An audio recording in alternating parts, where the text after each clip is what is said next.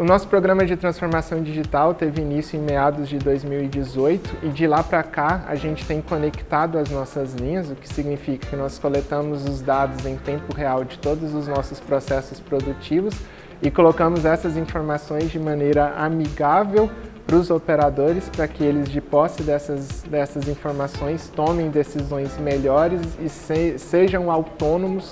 para tomar as sejam autônomos dentro desse processo de, de produção.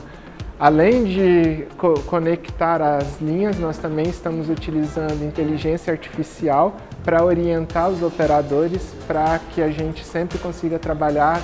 próximo ou todo o tempo no ponto ótimo de, de operação. Então, com o auxílio da inteligência artificial, a gente consegue recomendar, por exemplo, para o operador o melhor momento para poder fazer a limpeza de uma linha, ou mesmo ter o indicativo de que eu estou trabalhando fora da faixa ótima de operação de uma, de uma determinada operação. Assim, a gente consegue aumentar a eficiência das nossas linhas e também a produtividade, além de reduzir consumo de energia, água e emissão de carbono.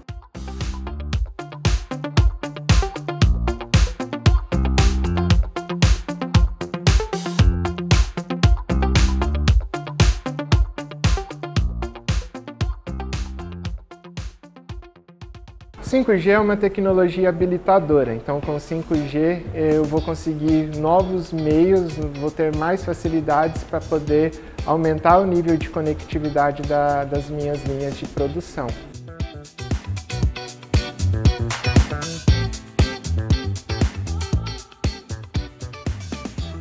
Desde que a gente iniciou o nosso programa de transformação digital, a fábrica de Caçapava já teve um aumento de mais de 10% em produtividade e um ponto importante é que nós não só conseguimos aumentar a nossa produtividade, mas ao mesmo tempo aumentar a flexibilidade na nossa produção, uma vez que aumentou o número de produtos SKUs diferentes neste mesmo período.